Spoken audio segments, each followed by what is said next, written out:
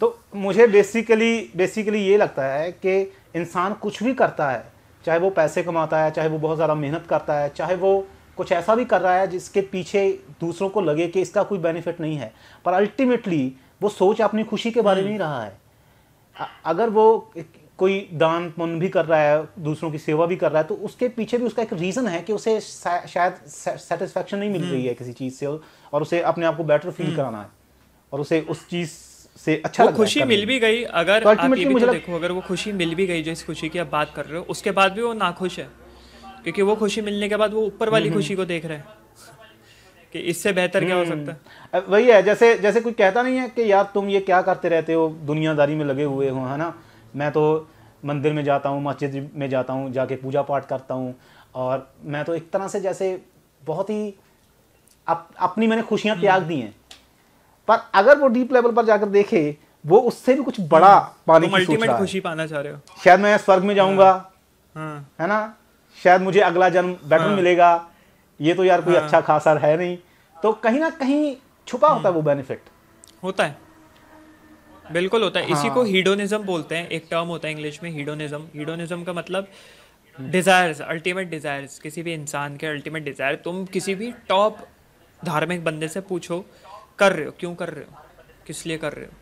भगवान ने कहा है मेरे भगवान ने कहा है करने को। अच्छा क्यों कहा है करने को? फिर जब तो आप पूछोगे ना क्यों कहा है करने को? ठीक है तो फिर वो चुप हो जाएगा। वो अंदर ही अंदर समझ जाएगा कि भाई ये तो पकड़ लिया इसने मेरे को लूप में घुमा के मेरे को ही पकड़ लिया इसने। ऑब्वियस ही। बात है। क्योंकि तुम अल्टीमेटली एक ही एक ही गोल की तरफ़ भाग रहे हो अपने सुख की तरफ़। अपने सुख अब लोग बोलते हैं। कि मरने के बाद आफ्टर लाइफ जिन रिलीजन्स में फॉर एग्ज़ाम्पल अब्राहमिक रिलीजन्स में आफ्टर लाइफ के कॉन्सेप्ट को बहुत माना जाता है आफ्टर लाइफ इटर्नल होती है इन्फिनिटी तक चलती है। तुम एक इंसान बन के उधर जाओगे ठीक है आफ्टर लाइफ में तुम क्योंकि वहाँ पे सारी जो फीचर्स मिलने वाले हैं सारे बेनिफिट्स मिलने वाले हैं इंसान वाले ही मिलने वाले हैं। तो जो इंसान बन के जाओगे साइकोलॉजी साइकी तुम्हारी इंसान वाली होगी क्योंकि सोच तुम्हारी इंसान वाली है क्योंकि बेनिफिट्स वहाँ पे इंसान वाले ही हैं। तो तुम वहाँ पे एक वक्त पे बोर हो जाओगे।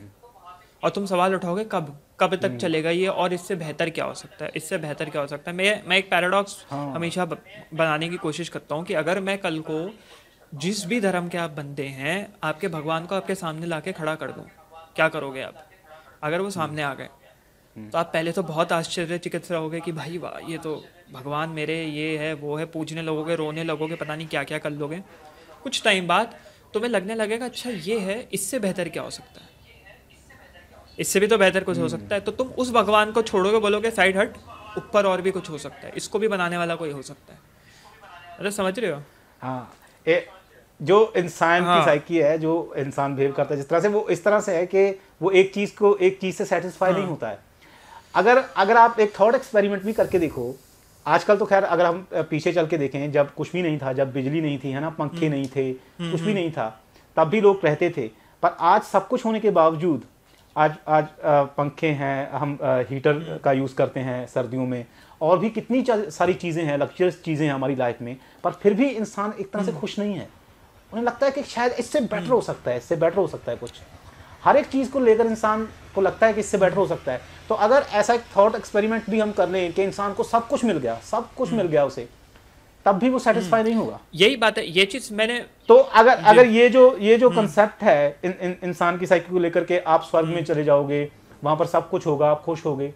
तो अगर आप उसी इंसान की उसी चीज़ को डिजायर्स को लेकर आप इन चीज़ों को कह रहे हो कि स्वर्ग है तो डिजायर्स तो कभी पूरी नहीं होती हैं। अगर पूरी हो भी जाती हैं तब भी इंसान अनसेटिस्फाइड रहता है।